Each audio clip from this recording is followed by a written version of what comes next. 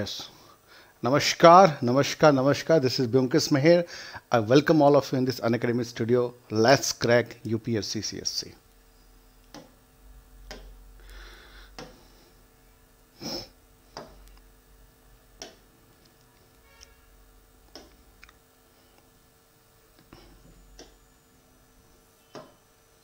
देखो, एक चीज़ बताऊँगा आप लोगों को। ठीक है? This is my Telegram group Unacademy underscore Byomkesh Meher और नीचे जो है डिस्क्रिप्शन बॉक्स में है। तो जो लोग ज्वाइन नहीं किए हो डिस्क्रिप्शन बॉक्स में ज्वाइन कर सकते हो। और किसी भी प्रकार का तैयारी कर रहे हो चाहे यूपीएससी हो एसपीएससी हो सीडीएस हो एनडी हो किसी भी प्रकार बैंकिंग ठीक है? किसी भी प्रकार का एग्ज़ाम की तैयारी कर रहे हो तो ये this is my referral code B M live is my code you can use this code और ये कोड करने से मैं आपकी पर्सनल मेंटरशिप बनूँगा ठीक है? सो so, गाइस और आज के लिए एक ज़बरदस्त ऑफ़र है और मैं क्लास के एंड में आपको बताऊँगा कि क्या ऑफ़र है अन अकेडमी टीम की तरफ़ से, ठीक है? अब जो है मैं सीधा टॉपिक पे आ रहा हूँ अभी।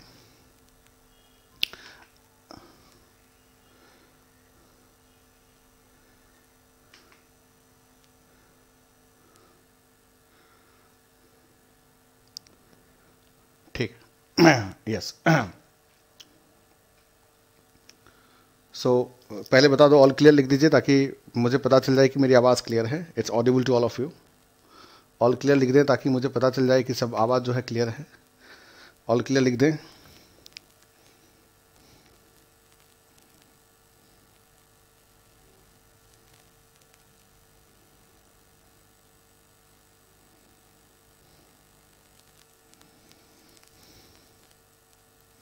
Yes fine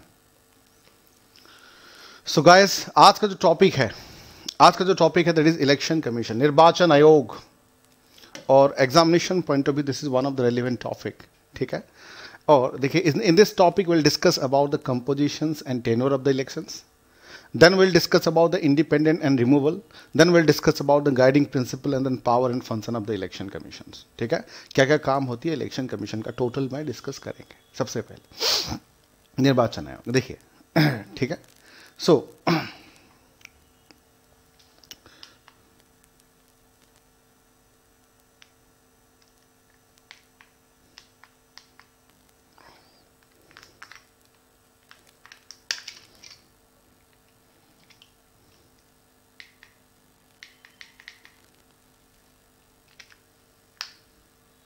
चलिए सो हियर इज़ देखिए compositions and tenure of the elections ठीक है? मेरी आवाज़ क्लियर है? यस ठीक है. फाइन देखिए, सबसे पहला चीज़ है इलेक्शन कमीशन को शामिल किया गया है आर्टिकल 324 ऑफ़ द कॉन्स्टिट्यूशन और ये शुरुआत हुआ है 1950 से। आप देख सकते हैं article 324 article 324 of the constitution deal with the election commission और ये इंसेप्शन इन द ईयर 1950 कौन सा ईयर में? 1950 में। क्लियर है पॉइंट हालाँकि it's a all India multi member body पहले इलेक्शन कमीशन में क्या होते थे? सिंगल मेंबर बॉडी हुआ करते थे। अब जो है it's a multi member body multi member body में आज के डेट में तीन मेंबर हैं। उसमें से एक जो है चीफ इलेक्शन कमीशन है। Two are the other members ठीक है? तो उसको कहा गया है multi member body multi member body का मतलब है, उसमें से consist of one chief election commissioner and two are the other members ठीक है? तो मल्टी मेंबर बॉडी मतलब three member body three members ठीक है? पहले जो होता था इलेक्शन कमीशन में सिंगल मेंबर हुआ करते थे बट अब जो है थ्री मेंबर हैं, और उसमें से एक, तीन मेंबर में से एक जो है चीफ इलेक्शन तीन मेंबर में से, देखो, तीन मेंबर में से वन जो है चीफ इलेक्शन कमिश्नर और बाकी जो बचे two members are the other members other members other members of the election commissions. Other members of the election commission तो टोटल कितने मेंबर्स हैं? थ्री मेंबर्स हैं, ठीक है? एंड ये तीनों मेंबर को appointed by the president and also they gave their resignation to the president ये तीनों मेंबर को नियुक्त जो करते हैं, वो राष्ट्रपति साहब करते हैं और ये अपना त्याग पत्र भी जो देते हैं, वो किसको देते हैं? राष्ट्रपति साहब को देते हैं। देख सकते हो कि appointed by the president but office is not held in his pleasure देखो, यहाँ पर लिखा गया एक शब्द है office is not held at his pleasure at his pleasure का मतलब मतलब क्या है? उसका मतलब है, राष्ट्रपति जब चाहे उनको अपॉइंटमेंट कर सकते हैं, जब चाहे उनको रिमूव नहीं कर सकते। अब जैसे कि अटॉर्नी जनरल ऑफ़ इंडिया है। अटॉर्नी जनरल ऑफ़ इंडिया का काम क्या है? अटॉर्नी जनरल ऑफ़ इंडिया का काम यह है कि he was the first law officer of the country who give legal advice to the president related to the legal matters attorney general of India का काम यह है। सो so, राष्ट्रपति साहब उनको कभी भी जो है अपॉइंट कर सकते हैं और कभी भी जो है उनको अपने पद से हटा सकते हैं। उसका मतलब क्या है? AGI can remain in the office with the pleasure of the president attorney general of India can remain in the office with the pleasure of the president जब चाहे अपॉइंटमेंट और जब चाहे बट ऐसा नहीं है इलेक्शन कमीशन के मामले में। ऐसा नहीं कि जब चाहे उनको अपॉइंट कर दिए जब चाहे उनको रिमूव कर दिए। ठीक है? क्लियर है पॉइंट उसके साथ देखिए, अगर मैं बात करूँ चीफ इलेक्शन कमिश्नर के, power salary allowances equal to that of the जज ऑफ़ द सुप्रीम कोर्ट का मतलब है सुप्रीम कोर्ट के जज का जो भी मतलब यू कैन से जो भी अलाउंसेस है, जो भी सैलरीज है सेम है चीफ इलेक्शन कमिश्नर के भी। ध्यान रखना। तो यहाँ पर आप देख सकते हो कि चीफ इलेक्शन कमिश्नर के, चीफ इलेक्शन कमिश्नर के जो पावर्स हैं पावर्स है you can say salary allowances equal to that of the judge of the supreme court. Equal to the तो जज ऑफ़ द सुप्रीम कोर्ट की जो सैलरी है, जो अलाउंसेस है, वही जो है सिख चीफ इलेक्शन कमिश्नर का भी सेम चीज़ है। और अगर टेनवर की बात करें तो छः साल और sixty five year whichever is earlier उनका देखिए एज अगर बात टेनवर की बात करें तो उनका जो है सिक्स ईयर है। सिक्स ईयर है। और लास्ट एज की बात करें तो सिक्सटी फाइव ईयर्स है। सिक्सटी फाइव ईयर तो दोनों में से whichever is earlier whichever is earlier का मतलब क्या है? कि अगर मान लीजिए कोई 63 ईयर एज एज में इलेक्शन कमिश्नर बना है तो उस केस में छः साल नहीं हो पाएगा। 63 में तो उस केस में कितना साल होगा? दो साल होगा। तो आइधर छः साल पहले ख़त्म होता है या फिर 65 ईयर होता है। दोनों में से जो पहले हो। तो ये जो है, ध्यान रखना, ये जो है इंपॉर्टेंट स्लाइड्स है। उसका सारा पॉइंट आपको याद रखना है। फिर से मैं रिविजन कर देता हूँ। देखो आर्टिकल 324 इलेक्शन कमीशन 1950 से जो है इंसेप्शन हुआ था। देन उसके बाद है it's a multi member body three member body in fact तीन मेंबर में से एक chief election commission two other other members one is chief election commission two other other members appointed by the president but राष्ट्रपति जब चाहे उनको appointment या जब चाहे उनको रिमूव नहीं कर सकते, उसका मतलब ये नहीं है। और जो चीफ इलेक्शन कमिश्नर है salary allowance is equal to that of the supreme court के जज और उनका टेनवर अगर बात करें छः साल है और सिक्सटी फाइव ईयर है। समझ में आ रहा है चीज़ें? समझ में आ रहा है? ठीक है। नेक्स्ट इंडिपेंडेंट एंड रिमूवल ठीक है नेक्स्ट जो है नेक्स्ट हम लोग बात करते हैं कि independent as well as removal independent as well as removal ठीक है?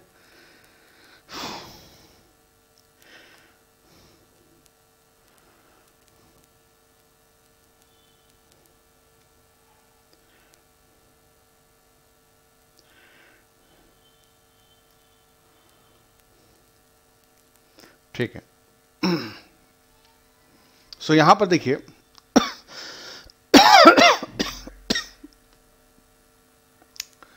Independent as well as removal में देखो पहला चीज़ है कि उनका सिक्योरिटी ऑफ़ टेनर होता है ठीक है? पहला चीज़ क्या है? इंडिपेंडेंट एंड रिमूवल में आप देख सकते हो कि पहला जो है that is the security of the tenure security of the tenure का मतलब है, जैसे कि अटॉर्नी जनरल ऑफ़ इंडिया है, वही एग्ज़ाम्पल दूँगा। जब चाहे उनको अपॉइंटमेंट जब चाहे उनको रिमूव की जाती है तो उनका कोई सिक्योरिटी ऑफ़ द टेनवर नहीं होता है। बट उनका जो है फिक्स सिक्योरिटी एंड टेनवर होती है। मतलब प्रेसिडेंट जब चाहे उनको अपॉइंट जब चाहे रिमूव नहीं कर सकती। ठीक है? उनका एक अलग से पावर होती है। ठीक है? और अगर मैं बात करूँ कि qualifications and the terms of the members are not prescribed ठीक है? हालाँकि संविधान में एग्जैक्टली exactly नहीं लिखा गया है। कि चीफ इलेक्शन कमिश्नर होने के लिए या इलेक्शन कमीशन होने के लिए मिनिमम क्वालिफिकेशन क्या होना चाहिए? जैसे कि यूपीएससी के लिए, सुप्रीम कोर्ट का जज होने के लिए, इवन आप लोग एग्ज़ाम देते हो, यूपीएससी का एग्ज़ाम देते हो, या फिर हाई कोर्ट के जज होने के लिए जो मिनिमम क्वालिफिकेशन थी, वो एग्जैक्टली जो है, मिनिमम क्वालिफिकेशन संविधान में कहीं पर भी मेंशन नहीं किया गया। ठीक है? नहीं किया गया। ठीक है? उसके साथ देखो not debar from further employment after retirement अब जैसे कि यूपीएससी का मेंबर जो है, एक बार ही चेयरमैन हो सकता है। बट इलेक्शन कमीशन का ऐसा नहीं है, ठीक है? उनको जो है not debar from further employment after retirement retirement के बाद जो है, उनको पूरी तरह से नहीं हटाया जाएगा। And condition of the service can not be varied उनका जो कंडीशन ऑफ़ द सर्विस ऐसा नहीं है कि एक बार अपॉइंटमेंट होने के बाद उनका सैलरी या ये सब जो है कम हो जाएँगे, वो जो है चेंज नहीं हो सकता कैन नॉट बी राइट तो एक बार जो कंडीशन एंड सर्विस जो चीज़ें हैं, वो हमेशा जो है, उनके पास जो है, हमेशा जो है वही चीज़ें रहेगा, ठीक है? हमेशा जो है, वही चीज़ें रहेगा क्लियर है point then remove removal by the president after passing resolution in the parliament with a special majority, that is proved misbehavior, mental or physical incapacity, ठीक है? तो जो चीफ इलेक्शन कमिश्नर हैं या फिर जो अदर मेंबर्स हैं, जो टोटल थ्री मेंबर्स हैं, उनको कौन हटा सकते हैं? देखो appointed by the president and also removed by the president यहाँ पर देख सकते हो रिमूव्ड बाय द प्रेसिडेंट ठीक है? After passing the resolution in the parliament with the special majority special majority का मतलब क्या है? टू बाय थर्ड सपोर्ट ठीक है? अब जैसे कि फॉर एग्ज़ाम्पल स्पेशल मेजोरिटी का मतलब है टोटल जितने मेंबर्स हैं, उसका 50 परसेंट जो है प्रेजेंट होना ज़रूरी है और प्रेजेंट मेंबर का टू बाय थर्ड होना ज़रूरी है। वन सेकेंड सिंह स्पेशल मेजोरिटी का मतलब है टोटल मेंबर का 50 परसेंट से ज़्यादा प्रेजेंट होना ज़रूरी है और प्रेजेंट मेंबर का टू बाय थर्ड होना ज़रूरी है। तो यहाँ पर जो है लोकसभा और राज्यसभा जैसे कि जज को हटाया जाता है।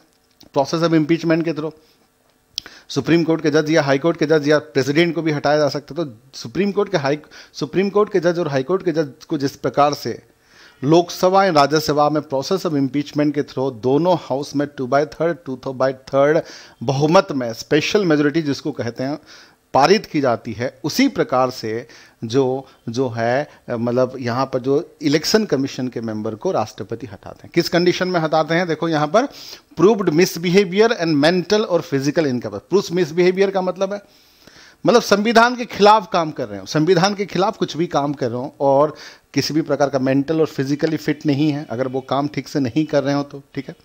उसके साथ देखो any other election commission commissioner not be removed except on the recommendation of the chief election commissioner ठीक है? ध्यान रखना। मैंने बताया था, ठीक है? जैसे कि टोटल कितने मेंबर्स होते हैं? तीन मेंबर्स होते हैं। तीन में से वन जो है चीफ इलेक्शन कमिश्नर और बाकी जो दो मेंबर हैं, वो है अदर मेंबर्स वो कौन थे?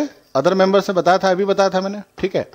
तो यहाँ पर बताया गया कि the other election commissioner member तो ये जो अदर मेंबर्स है अदर इलेक्शन कमिश्नर के मेंबर हैं, जो बाकी जो दो मेंबर हैं, ठीक है can not be removed except on the recommendation of the chief election commissioner मतलब ये जो दोनों मेंबर है सेकेंड और थर्ड मेंबर में जो दो मेंबर हैं, उनको नहीं हटाया जा सकता है तब तक, जब तक कि चीफ इलेक्शन कमिश्नर उनको रेकमेंड ना करें। तो मतलब ये दोनों को हटाने के लिए, जो टोटल तीन मेंबर्स हैं, ये दोनों को हटाने के लिए अदर मेंबर्स को हटाने के लिए चीफ इलेक्शन कमिश्नर का रिकमेंडेशन होना ज़रूरी है।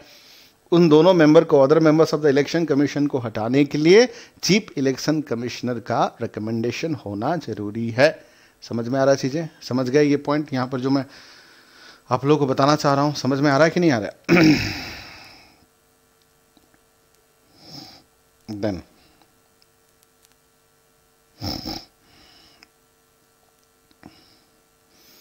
ठीक है, अब से अब से रेगुलर क्लास बने रहिए, ठीक है रेगुलर क्लास चलेगा यहाँ पर साढ़े आठ बजे तो लगातार बने रहना, ठीक है। अब नेक्स्ट टाइम आएँगे फंडामेंटल राइट है फंडामेंटल ड्यूटीज़ है डीपीएसपी है पार्लियामेंट है स्टेट लेजिस्लेचर है, बहुत इंपॉर्टेंट टॉपिक सब आने वाला है, ठीक है।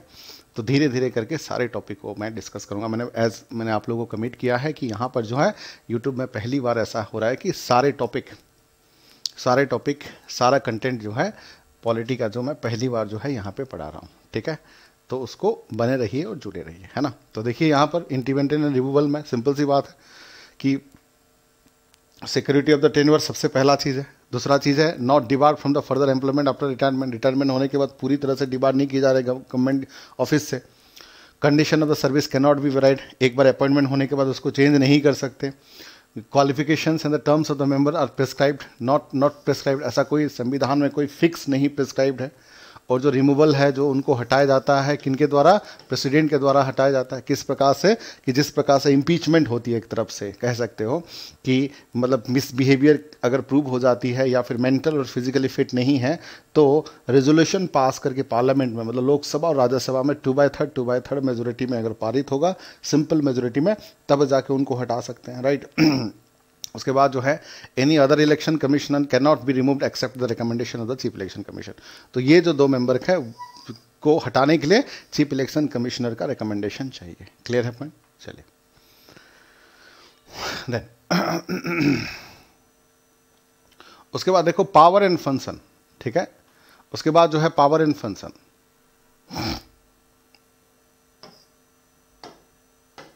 power and function ठीक है? आप देख सकते हो यहाँ पर पावर एंड फ़ंक्शन देखो पावर एंड फ़ंक्शन में सबसे पहला चीज़ है, देख सकते हो आप।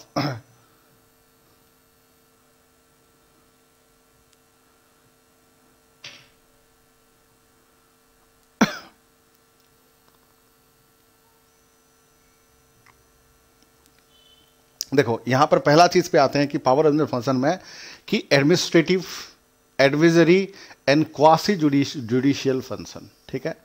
क्वासी जुडिशियल का मतलब क्या है? क्वासी जुडिशियल का मतलब है यू कैन से 50 परसेंट जुडिशियल उसको हम लोग कहते हैं quasi judicial 50 percent judicial that is known as quasi judicial 50 percent judicial that is known as quasi ठीक है? That is known as quasi judicial और यहाँ पर देखिए कि determine the dates and schedule of the election उसका मतलब है कि इलेक्शन कितना फ़ेज़ में होगा. नोटिफिकेशन कब होंगे? कहाँ पर होगा? कब होगा? कितने टाइम पे होगा? और रिज़ल्ट कब आएँगे? सब कुछ मतलब नोटिफिकेशन से लेकर टोटल रिज़ल्ट तक कौन डिसाइड करता है? इलेक्शन कमीशन डिसाइड करता है। पॉलिटिकल पार्टी का सिंबल क्या होगा? कौन डिसाइड करता है? इलेक्शन कमीशन डिसाइड करता है। कोड ऑफ़ कंडक्ट जिसको बोलते हैं, आचार संहिता जिसको बोलते हैं, कौन डिसाइड करता है? इलेक्शन कमीशन डिसाइड करता है। अगर मान लीजिए कुछ डिस्प्यूट होता है, झगड़ा होता है, उसको पोल को कैंसिल कौन कर सकता है? इलेक्शन कमीशन कौन कर सकता है? टेरिटोरियल एरिया का कंस्टिट्यूंसी का टेरिटोरियल एरिया डिसाइड होगा। हर एक दस साल में देखो क्या होती है पॉपुलेशन सेंसस होती है आफ्टर एवरी टेन ईयर्स तो पॉपुलेशन सेंसस होने के बाद हर एक दस साल के बाद जो है टेरिटरी जो है अदल बदल हो सकती है। फॉर एग्ज़ाम्पल कोई जिसमें ज़्यादा पॉपुलेशन है, वो डिवाइड दो या तीन में हो सकती है, या फिर एक या दो को एक साथ मिलाया भी जा सकता है। तो हर एक दस साल के बाद जो है कॉन्स्टिट्यूशनल में फ़र्क हो सकता है। समझ रहे चीज़ें? किसी भी प्रकार का डिस्टर्ब होती है, किसी भी प्रकार का झगड़ा होती है डिस्प्यूट होती है तो उसको कैंसिल करने का काम जो है इलेक्शन कमीशन का होती है। क्लियर है पॉइंट हालाँकि advise the president and governor for the disqualification of the any party किसी भी पार्टी को चाहे स्टेट लेवल पे सेंट्रल लेवल पे डिसक्वालिफाइड करना है तो प्रेसिडेंट और गवर्नर को एडवाइस भी कर सकते हैं। मतलब यूँ कहें कि इलेक्शन कब होगा? कितने फ़ेज़ में होगा? मेंबर्स कौन रहेंगे? रिज़ल्ट कब डिक्लेयर होगा? पॉलिटिकल पार्टी के सिंबल क्या होंगे? ठीक है, आचार संहिता क्या होगा? कोड ऑफ़ कंडक्ट कैसे होंगे? पोल को कैंसिल होगा या नहीं होगा, ठीक है? टेरिटोरियल एरियाज़ क्या होंगे? मतलब related to all elections deal by the election commission आप देख सकते हो कि, देखिए determining the dates and schedule of the elections कब होगा इलेक्शन नोटिफिकेशन कब आएँगे, कितना फ़ेज़ में होगा और रिज़ल्ट डिक्लेयर कब होगा। ये सब जो है इलेक्शन कमीशन का काम है। साथ ही साथ देखो register the parties allot the symbol तो पार्टी सब का जो रजिस्ट्रेशन होता है, वो इलेक्शन कमीशन करवाता है। उसके साथ साथ जैसे कि हाथ का ये है, ठीक है ठीक है lotus is the symbol of BJP ठीक है, झाड़ू इज़ द सिंबल ऑफ़ आम आदमी पार्टी। तो ये सिंबल अलॉट अलॉट कौन करता है? इलेक्शन कमीशन ही देता है, एक तरफ़ से। उसके साथ किसी भी प्रकार का डिस्प्यूट हो, उसके बारे में मैं थोड़ा सा बताऊँगा अभी। किसी भी प्रकार का डिस्प्यूट हो इलेक्शन से रिलेटेड वो इलेक्शन कमीशन ही करवाता है। क्लियर है पॉइंट हालाँकि प्रेसिडेंट और सुप्रीम कोर्ट का प्रेसिडेंट और वाइस प्रेसिडेंट का सुप्रीम कोर्ट करता है, बाकी सब का जो है इलेक्शन। ये थोड़ा सा डिटेल में बताऊँगा अभी मैं, ठीक है? उसके साथ साथ देखो determine the territorial areas of the constituency हर एक दस साल में पॉपुलेशन सेंसस होती है और हर एक दस साल में जो है टेरिटरी जो है चेंज हो सकता है। चेंज हो सकता है कहने का मतलब क्या है? कि अगर मान लीजिए कि दोनों टेरिटरी है, ठीक है? दोनों जो है कंस्टिट्यूंसी है छोटे छोटे हैं, उसको एक साथ किया जा सकता है। या फिर एक बहुत बड़ा कंस्टिट्यूंसी है तो उसको डिवाइड भी किया जा सकता है। तो चाहे ज्वाइंट होगा या डिवाइड होगा या अलग से क्रिएट होंगे तो ये डिसाइड भी इलेक्शन कमीशन करता है। Inquiries and settle settle dispute ठीक है, किसी भी प्रकार का डिस्प्यूट को सेटल करना हो इलेक्शन कमीशन रेस्पॉन्सिबल है। और advice to the president and also advice to the governor for disqualifying of any party किसी भी पार्टी को डिस्क्वालिफाइंग करना है तो उसका एडवाइस भी जो है इलेक्शन कमीशन करवाता है। देखो, और चीज़ यहाँ पर कैंसल द पोल और वो चीज़ें आप रिलेट कर सकते हो कि सेटल द डिस्प्यूट क्या होती है, मैं थोड़ा सा बता रहा हूँ। एक चीज़ें जो है, आप लोगों को एक चीज़ें मैं बता देता हूँ ताकि आप लोग का अंडरस्टैंडिंग जो है क्लियर हो जाए। देखिए देखिए, यहाँ पर जो एक चीज़ें मैं बताना चाहता हूँ यहाँ पर, ठीक है? एक होती है सेंट्रल लेवल पे elections central elections central level पे जो इलेक्शंस होती है, सेंट्रल लेवल पे इलेक्शन जो होती है, उसमें कौन कौन आते हैं? सेंट्रल लेवल पे जो इलेक्शंस होता है, और एक होता है स्टेट लेवल पे, पहले लिख देता हूँ मैं। उसके बाद जो है स्टेट स्टेट इलेक्शन। उसके बाद होती है you can say district level district election लिख सकते हैं। डिस्ट्रिक्ट इलेक्शन इलेक्शंस ठीक है? सो ये है डिस्ट्रिक्ट लेवल पे, ये है स्टेट लेवल पे और ये है सेंट्रल लेवल पे. अब देखिए सेंट्रल लेवल पे जो इलेक्शंस होती है फॉर एग्जांपल यहाँ पर इलेक्शंस होती है फॉर एग्जांपल जैसे कि उसमें से आते हैं प्रेसिडेंट प्रेसिडेंट ठीक है? उसमें फिर आएँगे vice president vice president then prime minister prime minister और you can say member of member of लोक सभा और राज्यसभा का इनडायरेक्ट इलेक्शंस होते हैं राज्यसभा ठीक है? ये सेंट्रल लेवल पे अगर मैं स्टेट लेवल पे बात करूँ स्टेट लेवल पे जो इलेक्शंस होती है, देखो स्टेट लेवल पे प्रेसिडेंट की जगह पे क्या होती है यहाँ पर? गवर्नर प्राइम मिनिस्टर की जगह पे क्या होगा? Chief minister CM chief minister then यहाँ पर मेंबर ऑफ़ लोकसभा यहाँ पर क्या होगा? मेंबर ऑफ़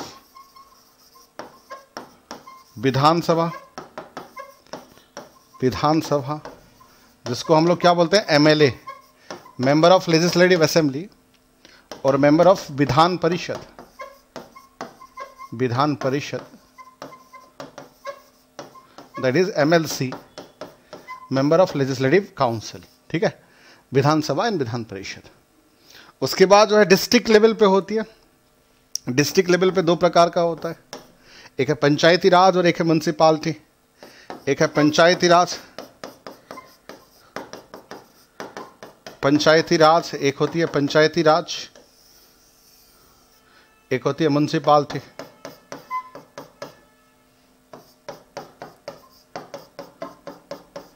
एक है पंचायती राज, एक है म्यूनसिपालिटी तो यहाँ पर जैसे कि पंचायती राज में, पंचायती राज में क्या होती है? सबसे ऊपर जो है जिला परिषद होता है। जिला परिषद। देन समिति सभा और समिति सभ्य। समिति, सभ्य और ग्राम पंचायत। ग्राम पंचायत। तो विलेज लेवल पे ग्राम पंचायत ब्लॉक लेवल पे समिति सभ्य डिस्ट्रिक्ट लेवल पे जिला परिषद। उस तरीके से म्यूनसिपालिटीज़ में जो होती है म्यूनसिपल कॉरपोरेशन म्यूनसिपल कॉरपोरेशन होती है। देन म्यूनसिपल काउंसिल होती है म्यूनसिपल काउंसिल उसके बाद जो होती है, नगर पंचायत। नगर पंचायत। उसके बाद होती है नगर पंचायत राइट तो ये जो है अलग अलग प्रकार का इलेक्शन ठीक है गेटिंग माई पॉइंट तो यहाँ पर जो देखिए सिंपल सी बात है सिंपल सी बात है बट आपको एग्जामिनेशन में कंफ्यूज कर सकता है एग्जामिनर मैं इसलिए उसको समझा रहा हूँ कि अब तक जो है दो तीन बार जो है यूपीएससी पुटअप क्वेश्चन पुटअप कर चुका है, इसीलिए मैं उसको डिटेल में समझा रहा हूँ कि समझते हैं, चीज़ें क्या है ये तो सबको पता है कि ये सेंट्रल लेवल पे, ये स्टेट लेवल पे, ये डिस्ट्रिक्ट लेवल पे। बट एक सिंपल सा क्वेश्चन आएगा यहाँ पर, ठीक है? आप मुझे आंसर दो। आप ही मुझे आंसर दो। अगर केरला का म्यूनसिपालिटी कॉरपोरेशन में अगर डिस्प्यूट होता है तो रेस्पॉन्सिबल कौन है? उसके बाद आंसर दो। बिहार का ग्राम पंचायत में इलेक्शंस कौन करवाता है? उसके बाद मुझे आंसर दो। उड़ीसा के विधानसभा में अगर इलेक्शन होता है तो कौन करवाता है? उसके बाद यूपी के विधान परिषद में अगर इलेक्शन में डिस्प्यूट होता है तो कौन करवाता है? ये और उसके साथ बताओ। प्रेसिडेंट का इलेक्शन कौन करवाता है? और प्रेसिडेंट का इलेक्शन में डिस्प्यूट होता है तो रेस्पॉन्सिबल कौन है? तो मैंने जो यहाँ पर अभी एक, दो, तीन, चार, पाँच छः सात, आठ हाँ छह क्वेश्चन मैंने पुटअप किया है। आप बताओ, उसका आंसर आपको आता है तो बताओ। ठीक है? चलिए। तो मैं सिंपल कर रहा हूँ उसको, देखो देखो सेंट्रल लेवल का इलेक्शन जो है, करवाने का काम, ठीक है? सेंट्रल लेवल का इलेक्शन जो है, करवाने का काम क्या है? Election commission of India conduct the elections ठीक है? कंडक्ट द इलेक्शंस ठीक है? कंडक्ट द इलेक्शन कौन करता है? इलेक्शन कमीशन ऑफ़ इंडिया चाहे वो प्रेसिडेंट का हो, चाहे वो वाइस प्रेसिडेंट का हो चाहे वो प्राइम मिनिस्टर का प्राइम मिनिस्टर का मतलब है लोकसभा का इलेक्शन से ही प्राइम मिनिस्टर इलेक्शन होता है। सेम चीज़, समझ रहे चीज़ें? चाहे वो मेंबर ऑफ़ लोकसभा हो, चाहे मेंबर ऑफ़ इलेक्शन कमीशन कौन कौन करवाता है उन लोग उन लोगों का election election commission of India clear है? इज़ दैट क्लियर बट उसमें एक चीज़ और है। यहाँ पर यहाँ पर अगर बात किया जाए conduct conduct the elections but यहाँ पर एक दो चीज़ और है कि अगर लोकसभा का इलेक्शन में झगड़ा होती है, राज्यसभा का इलेक्शन में झगड़ा होता है, प्राइम मिनिस्टर का इलेक्शन में झगड़ा होता है तो रेस्पॉन्सिबल कौन है? वो भी रेस्पॉन्सिबल भी इलेक्शन कमीशन, ठीक है? कंप्लेन्स कंडक्ट भी इलेक्शन कमीशन करता है बट लोकसभा, राज्यसभा और प्राइम मिनिस्टर का इलेक्शन में झगड़ा डिस्प्यूट होगा तो भी इलेक्शन कमीशन होगा। बट अगर यहाँ पर क्वेश्चन आता है कि राष्ट्रपति का इलेक्शन में झगड़ा होती है डिस्प्यूट होती है, या फिर वाइस प्रेसिडेंट का इलेक्शन में डिस्प्यूट होती है तो रेस्पॉन्सिबल कौन है, बताओ। कौन है रेस्पॉन्सिबल तो उस केस में इलेक्शन कमीशन ऑफ़ इंडिया नहीं है। उस केस में क्या होगा? सुप्रीम कोर्ट ऑफ़ इंडिया तो ध्यान रखना, अगर dispute dispute related to the president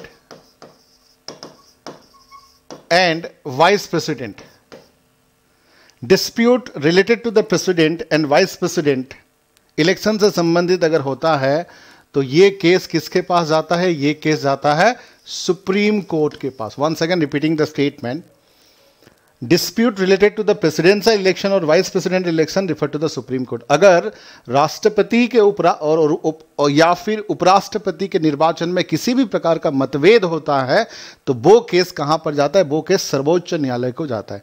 वो केस जो है इलेक्शन कमीशन ऑफ़ इंडिया को नहीं जाता। बट अगर डिस्प्यूट होती है प्राइम मिनिस्टर के इलेक्शन में, लोकसभा के इलेक्शन में, राज्यसभा के इलेक्शन में, कहाँ पर जाता है? इलेक्शन कमीशन ऑफ़ इंडिया को जाता है। क्लियर है? पहला पॉइंट क्लियर है? क्लियर है तो यस लिखो। क्लियर है तो लिखो यस ठीक है? यस ठीक है? चलिए। अगला पॉइंट आते हैं स्टेट लेवल पे आते हैं।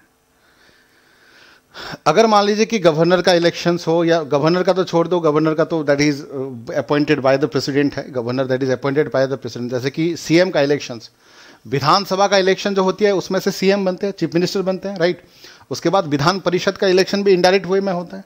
तो ये सब इलेक्शन कंडक्ट कौन करवाता है? ध्यान रखिए, मैं दो ऑप्शन आपको देता हूँ, बताइए। तीन ऑप्शन देता हूँ। फ़र्स्ट है गवर्नमेंट ऑफ़ इंडिया सेकंड है election commission of India third है सेपरेट स्टेट इलेक्शन बोर्ड बताओ।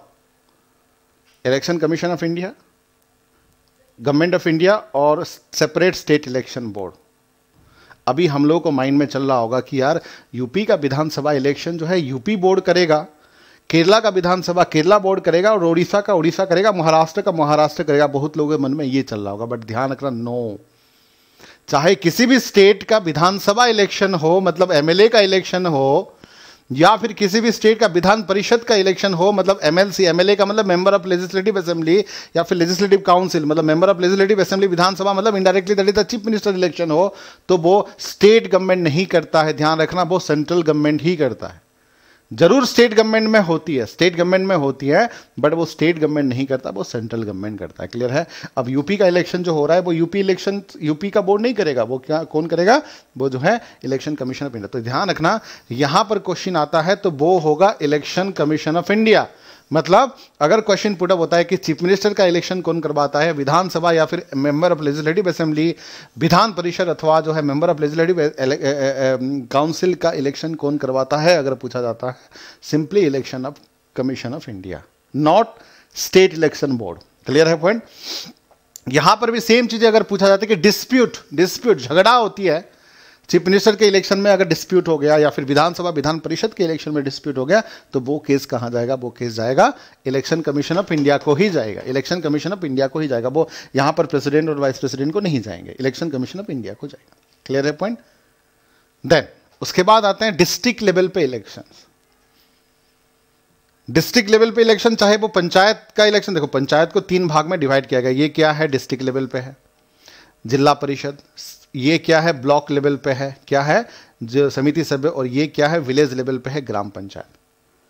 सेम केस यार म्यूनसिपल कॉरपोरेशन बड़े बड़े मेट्रो सिटीज़ के लिए, दिल्ली, मुंबई, चेन्नई, कोलकाता छोटे छोटे शहर के लिए, और ये जो है डिस्ट्रिक्ट वाटर के लिए, नगर पंचायत, एक है म्यूनसिपल कॉरपोरेशन म्यूनसिपल काउंसिल और नगर पंचायत, ठीक है, छोटे छोटे शहर, बड़ा शहर और बहुत बड़ा शहर सिंपल सी बात सिंपल सी लॉजिक तो चाहे वो पंचायत का इलेक्शन हो तो three tier system of the Panchayati Raj हो, चाहे म्यूनसिपालिटी को हो, इलेक्शन कौन करवाता है? बताओ, मैं दो ऑप्शन फिर से, तीन ऑप्शन फिर से दे रहा हूँ।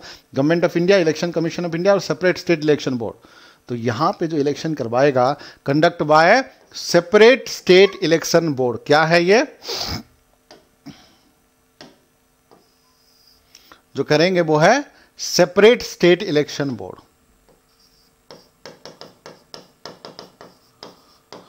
separate state election board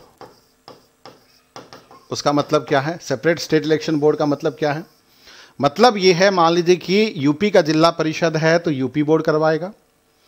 Bihar का ग्राम पंचायत है तो बिहार बोर्ड करवाएगा। महाराष्ट्र का म्यूनसिपल कॉरपोरेशन है तो महाराष्ट्र करवाएगा। और या फिर किसी केरला का नगर पंचायत है तो केरला का कराएगा समझ रहे हो? जिस स्टेट का है, वो स्टेट कराएगा। दैट इज़ द चाहे, देखिए, यहाँ पर जो है कंडक्ट भी करेंगे ये लोग, और अगर डिस्प्यूट भी होती है तो भी state separate state election board dispute तो इलेक्शन कमीशन के पास नहीं जाएगा। समझ में आया चीज़ें? मैं ये बताना चाहता हूँ। फिर से मैं रिपीट कर रहा हूँ चीज़ों को। ध्यान से सुनो फाइनल वर्ड है। ये सबका इलेक्शन सेंट्रल लेवल पे, सबका इलेक्शन उसके साथ साथ स्टेट लेवल पे सबका इलेक्शन मतलब president prime minister Lok Sabha Rajya Sabha chief minister Vidhan Sabha Vidhan Parishad का कौन करेंगे election commission of India is that clear केवल प्रेसिडेंट और वाइस प्रेसिडेंट केवल प्रेसिडेंट और वाइस प्रेसिडेंट को छोड़ के प्रेसिडेंट और वाइस प्रेसिडेंट का अगर डिस्प्यूट होती है इलेक्शन में डिस्प्यूट होती है तो वो कौन करेंगे वो है सुप्रीम कोर्ट ऑफ़ इंडिया वो जो है किसके पास जाएगा supreme court whatever the decision given by the supreme court that is the final but अगर डिस्प्यूट होती है प्राइम मिनिस्टर का इलेक्शंस में डिस्प्यूट होती है लोकसभा का, राज्यसभा का इलेक्शंस में, या फिर डिस्प्यूट होती है चीफ मिनिस्टर का, Vidhan Sabha, Vidhan Parishad that mean MLA MLC का डिस्प्यूट होती है तो कौन रेस्पॉन्सिबल है? Election commission of India responsible है। Are you getting my point समझ रहे हो तो यस लिखो नीचे। सेम केस हियर अगर किसी भी स्टेट का अगर डिस्ट्रिक्ट इलेक्शन की बात करें that is Panchayati Raj and municipality local urban body one is for rural area one is for urban area चाहे वो पंचायती राज हो, चाहे म्यूनसिपालिटी हो, कौन करवाएगा? सेपरेट स्टेट इलेक्शन बोर्ड चाहे इलेक्शन करवाना भी और डिस्प्यूट रिलेट से भी ये डील करेंगे। समझ में आ रहा है? तो लिखो यस इतना सा बात है। ज़्यादा कॉम्प्लिकेटेड नहीं है। ये कंसेप्ट क्लियर है। एग्जामिनेशन में आपको घुमा फिरा के सवाल आता है, इस तरह का सवाल आ सकता है। सिंपल सी बात है कि बिहार के समिति सभ्य इलेक्शन जो है कौन करवाएगा? या केरला में अगर नगर पंचायत का इलेक्शन है, कौन करवाएगा? या उड़ीसा में विधानसभा का इलेक्शन कौन करवाएगा? या फिर यूपी का विधान परिषद का इलेक्शन कौन करवाएगा? या फिर प्रेसिडेंट का अगर डिस्प्यूट होती है तो हुई इज़ रेस्पॉन्सिबल अब सब सारे डाउट क्लियर है। I hope it's clear to all very good सब लोग यस लिख रहे हो तो समझ में आ रहा है। चिल्लाने का कुछ तो फ़ायदा हो रहा है। हाँ एक चीज़ मैं बता देता हूँ आज से जो है रेगुलर बने रहिए। ठीक है थोड़ा सा दो तीन दिन का अभी गैप रह गया था बट अब से जो हर हर महादेव, ठीक है तो शिव जी के नाम पे अब से शुरुआत कर दीजिए क्लास ठीक है। और जो बच्चा को जोड़ना है तो नीचे जो है डिस्क्रिप्शन बॉक्स में नीचे जो है टेलीग्राम चैनल है, ध्यान रखना। नीचे डिस्क्रिप्शन बॉक्स में टेलीग्राम चैनल है नीचे। वहाँ पर जुड़ सकते हो, वहाँ पर पीडीएफ मिलेंगे किसी भी प्रकार का डाउट है क्वेरीज है सॉल्व है, वहाँ पर आपको सब डाउट कर क्लियर कर दिए जाएँगे। तो बने रहिए, जुड़िए रहिए, ठीक है? और एक चीज़ बता दूँ, यहाँ पर यूट्यूब में अभी पॉलिटी का क्लास चल रहा है। उसके साथ साथ मैं हिस्ट्री का क्लास भी लेता हूँ सैटरडे संडे और इकोनॉमी का क्लास जो है मैं स्टार्ट कर दूँगा कल से, ठीक है? कल से या फिर परसों से इकोनॉमी का क्लास फ्रॉम द प्लस तो आपको नीचे डिस्क्रिप्शन बॉक्स में ही प्लस में भी ज्वाइन कर लो। फ्री क्लासेस वहाँ फिर करूँगा और एमसीक्यू सीरीज़ जो है कल से रेगुलर बेसिस पे हो जाएगा एमसीक्यू सीरीज़ ठीक है? यहाँ पर साढ़े आठ को क्लास स्टार्ट करेंगे और एमसीक्यू सीरीज़ हर एक दिन रात के दस बजे करेंगे और दिन में भी मैं टाइम आपको बता दूँगा। ठीक है? तो बने रहिए और जुड़े रहिए। तो ये था इलेक्शन कमीशन अब देखिए नेक्स्ट है।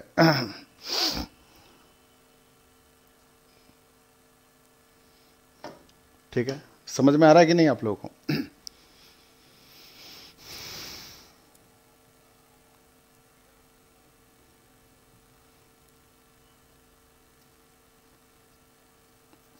देखो इलेक्शन कमीशन का क्या होती है? कुछ रूल्स एंड रेगुलेशन होती है जिसको हम लोग कहते हैं गाइडेंस प्रिंसिपल ठीक गाइडिंग प्रिंसिपल ठीक है? ऐसा नहीं है कि जिसके पास पैसा ज़्यादा है, वो जो है बूथ कैप्चर करके जीत जाए, ऐसा भी नहीं है। So that should be transparent मतलब the main function of the election commission was the conduct free and fair election all over the country election commission का काम ही ये है कि पूरे देश भर में फ्री और फेयर इलेक्शन करवाएँ। पहला काम उनका ये है कि conduct the free and fair election in the entire country free and fair elections in the entire country चाहे वो स्टेट लेवल पे इलेक्शन हो, चाहे वो सेंट्रल लेवल पे इलेक्शन हो, उनका पहला ही काम है कि conduct the main main function of the election commission is to conduct free and fair election in the entire country चाहे वो एमएलए का इलेक्शन हो, चाहे वो एमएलसी का इलेक्शन हो, विधानसभा और विधान परिषद, चाहे वो लोकसभा का हो, चाहे राज्यसभा का हो। क्लियर है पॉइंट ठीक है? उसके साथ देखो ensure the participation by the eligible eligible citizen मतलब ऐसा नहीं होना चाहिए कि जो मिनिमम एलिजिबिलिटी है मिनिमम एलिजिबिलिटी है मतदान देने का, ठीक है उस एज का मतलब जैसे कि कभी कभी कुछ कुछ लोग जो है फेक इलेक्शन सर्टिफिकेट बनाते हैं। ऐसा नहीं हो सकता। या कुछ लोग ऐसा भी होता है किसी का डेथ हो जाती है उसका इलेक्शन कोई और दे देता है। ऐसा भी नहीं हो सकता। सो so, उस चीज़ का जो है ध्यान रखना मतलब एक तरफ़ से डिग्निटी को मेंटेन करना ट्रांसपेरेंसी को मेंटेन करना this is the work of the election commission ठीक है? उसके साथ साथ देखो इंस्टीट्यूशन ऑफ़ एक्सलेंस मतलब यू कैन से कह सकते हो एक तरफ़ से कि जो डिजर्व करता हो वो जीते। ऐसा नहीं है कि जिसके पास पैसा ज़्यादा है मनी पावर ज़्यादा है मसल पावर ज़्यादा है, वही जीते। तो एक ऐसा मतलब मेंटेन करके रखना है कि अच्छे ईमानदार और अच्छे लोगों को वोट मिले, ठीक है? उसके साथ साथ देखिए क्वालिटी इंफ्रास्ट्रक्चर्स ठीक है? उसके साथ साथ क्वालिटी इंफ्रास्ट्रक्चर मेंटेन करने का चीज़ डेवलप ह्यूमन रिसोर्सेस ठीक है ह्यूमन रिसोर्स डेवलपमेंट का मतलब है you can say overall development of the human being that is known as यहाँ पर ह्यूमन रिसोर्स डेवलपमेंट की बात की गई है। लोगों में प्रमोट द अवेयरनेस लोगों में सचेतन का भावना, ऐसा नहीं कि दारू मिल गया या फिर लेग पीस मिल गया तो उसको जाके वोट दे दो। ठीक है, या फिर कुछ पैसा मिल गया तो उसको जाके वोट दे दो।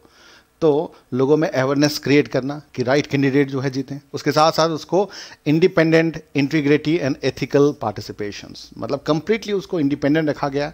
किसी भी पॉलिटिकल बायस नहीं है। ऐसा नहीं है कि जो प्रधानमंत्री अभी हैं या फिर जो पावरफुल में है, अगले बार इलेक्शन होगा तो उनके दबाव में आएँगे। या फिर जो चीफ मिनिस्टर हैं या अपने अपने स्टेट के जो बाहुबली हैं, उनके दबाव में जो इलेक्शन उनके हिसाब से होगा। नहीं, उनको कम्प्लीटली इंडिपेंडेंट रखा गया है।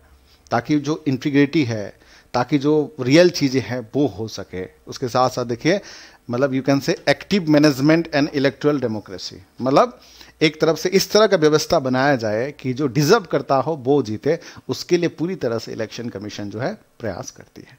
पूरी तरह से इलेक्शन कमीशन प्रयास करती है। तो आप देख सकते हो समरी के हिसाब से जस्ट पाँच मिनट में चीज़ों को खत्म कर रहा ये छोटा सा टॉपिक है वैसे। समरी के हिसाब से थोड़ा सा मैं बता देता हूँ। सबसे पहला चीज़ें याद रखना है आपको 324 और शुरुआत हुआ था 1950 से शुरुआत हुआ था।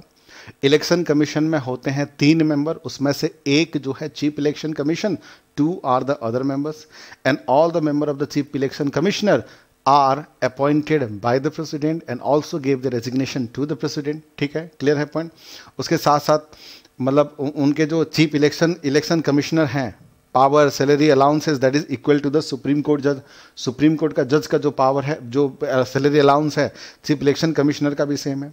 अगर टेनवर की बात करते हैं तो छः साल है और लास्ट एज की बात करते हैं तो पैंसठ साल है, पहला चीज़। दूसरा चीज़ देखिए इंडिपेंडेंट इंडिपेंडेंट के बारे में अगर बात करूँ, देखिए उनका सिक्योरिटी ऑफ़ द टेनवर है। ऐसा नहीं कि मतलब एक बार होंगे तो छः साल है, ऐसा नहीं कि एक साल, दो साल में उनको हटा दिया जाएगा। और not debar from further employment after retirement retirement के बाद, जैसे कि यूपीएससी का मेंबर चेयरमैन दोबारा चेयरमैन नहीं बन सकते, या फिर किसी भी गवर्नमेंट पद में तो वो ये कर सकते हैं।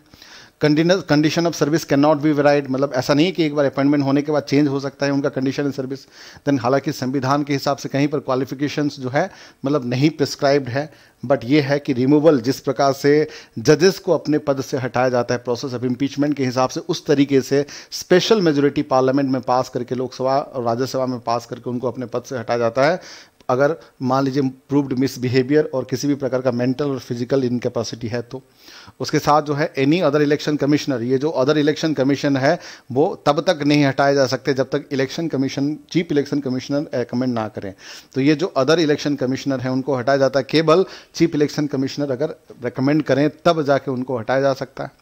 उसके बाद हम लोग बात करते हैं कि पावर्स एंड फ़ंक्शन की बात करते हैं, ठीक है पावर एंड फ़ंक्शन की बात करते हैं तो एडवाइस प्रेसिडेंट को या गवर्नर को कर सकते हैं related to the disqualification of the political party किसी भी प्रकार का इंक्वायरी एंड सेटल डिस्प्यूट कर सकता है election commission related to the elections उसके साथ साथ जो टेरिटोरियल कंस्टिट्यूंसी है, उसको डिसाइड करना, या फिर पोल अगर कुछ भी गड़बड़ हो रहा है तो उसको कैंसिल कर सकता है। पॉलिटिकल पार्टी को रजिस्टर करना और सिंबल अलॉट करने का काम इलेक्शन कमीशन करता है। उसके साथ साथ डेट एंड शेड्यूल कब इलेक्शन होगा, कितना फ़ेज़ में होगा नोटिफिकेशन कब आएँगे रिज़ल्ट कब आएगा, सब कुछ, उसके साथ इससे क्वासी जुडिशियल फ़ंक्शन भी कहा गया, ठीक है? देन उसके साथ जो है गाइडिंग प्रिंसिपल में किस प्रकार का क्वालिटी इंफ्रास्ट्रक्चर किया जाए, किस प्रकार का ह्यूमन रिसोर्स का डेवलपमेंट किया जाए, लोगों में अवेयरनेस किस प्रकार से आए fair and free free election किस प्रकार से किया जाए, किस प्रकार से ज़्यादा से ज़्यादा लोग पार्टिसिपेट करें, वो भी एलिजिबल लोग इंस्टीट्यूट ऑफ़ एक्सीलेंस उसके साथ साथ एक्टिव मैनेजमेंट ताकि इलेक्ट्रल डेमोक्रेसी मतलब जो डिजर्व कैंडिडेट है, वो जीत सकें। उस तरह से, पूरी तरह से इलेक्शन कमीशन जो है, प्रयास करता है। हालाँकि ये टॉपिक बहुत सिंपल है और ये टॉपिक का मैं एमसीक्यू सीरीज़ जो है, कल करूँगा। ठीक है? एमसीक्यू सीरीज़ जो है, कल करूँगा इस टॉपिक का। बट ठीक है। तो एंड और एक चीज़ बता दूँ कि देखिए तो ये था इलेक्शन कमीशन के बारे में। और बी एम लाइव कोड में आप सभी प्रकार के सभी फैकल्टीज़ का वीडियोज़ आप देख सकोगे बी एम लाइव कोड में। और साथ ही साथ देखिए, ये जो है हम लोग आईपीएल सीरीज़ कर रहे हैं, ठीक है? आप लोगों को पता ही होगा, ये आईपीएल सीरीज़ करें जिसमें अभी जो है 90 डेज़ के आसपास है आपको आपका एग्जामिनेशन तो हम लोग कोशिश करें कि 75 डेज़ के अंदर, हम लोग कोशिश करें कि 75 डेज़ के अंदर किस प्रकार से हम लोग कोर्स को शॉर्ट आउट कर सके। तो I'll be dealing with the topic history as well as the polity polity और हिस्ट्री जो है मैं डील कर रहा हूँ, ठीक है? आप बने रहिए और देखते रहिए। और जो टाइमिंग होगा मेरा जो है, ये टाइमिंग होगा। कि मंडे टू फ्राइडे जो है 8:30 पीएम पॉलिटी होगा और सैटरडे संडे 8:30 पीएम जो है I'll dealing with the topic history history पे डील करूँगा। उसके साथ साथ देखिए यहाँ पर, ये जो है मेरा रिफरल कोड है बी एम लाइव चाहे किसी भी प्रकार का एग्ज़ाम की तैयारी करो, चाहे यूपीएससी हो एसपीएससी हो इलेक्शन का यूपीएससी एसपीएससी हो, या किसी भी प्रकार का तैयारी कर रहे हो सीडीएस की एनडीए की तो बी एम लाइव कोड का रेफरल कर सकते हो। और ये जो है, अगर जुड़ने का जो प्रयास करोगे पीडीएफ चाहिए, किसी भी प्रकार का हिस्ट्री पॉलिटी जोग्राफी इकोनॉमिक्स में डाउट है तो इस ग्रुप में ज्वाइन कर लीजिए Unacademy underscore Kashmir और ये कहाँ मिलेगा आपको? नीचे देखिए डिस्क्रिप्शन बॉक्स में. जो लोग ज्वाइन नहीं किए हो अभी तक, नीचे देखिए डिस्क्रिप्शन बॉक्स में, वहाँ पर जाइए और ज्वाइन करिए. ठीक है, यहाँ पर ज्वाइन कर सकते हो. क्लियर है फ्रेंड साथ ही साथ देखिए पॉलिटी का ये सीरीज़ करें जिसमें entire portion of the polity करेंगे. Polity governance constitution social justice international relationship time क्या है? एट थर्टी पे. उसके साथ साथ हिस्ट्री का सीरीज़ सैटरडे और संडे करेंगे मैराथन बेसिस में करेंगे हम लोग, ठीक है? साथ ही साथ जो लोग ज्वाइन नहीं किए हो यहाँ पर अनकेडमी ऐप में तो अनकेडमी ऐप को पहला चीज़ तो इंस्टॉल कर लीजिए। इंस्टॉल करने के बाद यहाँ पर फॉलो कर लीजिए। यहाँ पर बहुत सारे फ्री क्लासेस हैं। बहुत सारे history polity geography economics current affairs के बहुत सारे फ्री क्लासेस हैं। उसके साथ मैं करवाता हूँ, यहाँ पर एमसीक्यू सीरीज़ करवाता हूँ। एम सीरीज़ जो अभी प्रीलिम्स के लिए बहुत ज़रूरी है एमसीक्यू सीरीज़ क्लियर है पॉइंट और यहाँ पर आपको मिलता है पी डी एफ़ यहाँ पर आपको मिलता है डेली बेसिस पे। आप यहाँ पर बने रहिए कम्युनिटी ग्रुप में, ठीक है? आप चेक करके देखिए कम्युनिटी ग्रुप में है कि नहीं पीडीएफ सारे पी हैं। ठीक है? साथ ही साथ देखो, अभी चल रहा है थर्टी फाइव परसेंट का डिस्काउंट चल रहा है तो उसका फ़ायदा उठा सकते हैं। साथ ही साथ जो है प्रीलिम्स और सी सेट का जो है आपको, जो है प्राइस इजीली मिल रहा है सिक्स मंथ और वन ईयर का लिमिटेड ऑफ़र है, उसका फ़ायदा आप उठा सकते हैं। साथ ही साथ देखिए बी एम लाइव कोड में बी एम लाइव कोड में आपको पर्सनल मेंटरशिप मिल सकता है पर्सनल गाइडेंस मिल सकता है मेरे तरफ़ से। बी एम लाइव कोड इस्तेमाल करके ज्वाइन करोगे तो मैं आपका ऑटोमेटिकली मेंटर बनूँगा। आल गाइड यू पर्सनली ठीक है? साथ ही साथ देखिए, चाहे वन ईयर हो वन ईयर हो टू ईयर हो थ्री ईयर हो, ठीक है? किसी भी प्रकार का कोर्स है बी एम लाइव कोड में जो है आप ज्वाइन कर सकते हो। और लोन फैसिलिटीज़ के लिए मैं बता देता हूँ लोन फैसिलिटीज़ के लिए ज़ीरो परसेंट इंटरेस्ट रेट में आपको जो है लोन मिल रहा है ज़ीरो परसेंट इंटरेस्ट रेट में आपको लोन मिल रहा है। क्लियर है पॉइंट मतलब ज़ीरो परसेंट इंटरेस्ट रेट में दो घंटे में अप्रूव्ड हो जाए किसी भी प्रकार का लोन से रिलेटेड दिक्कत है तो भी नीचे टेलीग्राम ग्रुप में जुड़ सकते हो कंटैक्ट कर सकते हो। ठीक है? सो so, आज के लिए इतना ही। थैंक यू और एक चीज़ मैं बताना चाहूँगा कि क्लास रेगुलर रही है एट थर्टी पे बुक करिए। ठीक है? और मैं चाहता हूँ कि ऐसे डेढ़ सौ, दो सौ बच्चा नहीं, मैं चाहता हूँ कि कम से कम पाँच सौ बच्चा जो है लाइव रहे तो पढ़ाने में मज़ा आएगा। तो कल से रेगुलर हो जाइए, कल से मिलते हैं पूरे जोश के साथ, पूरी ईमानदारी के साथ, पूरी ऑनेस्टी के साथ। तो आज के लिए इतना ही। Thank you all have nice day take care जय हिंद।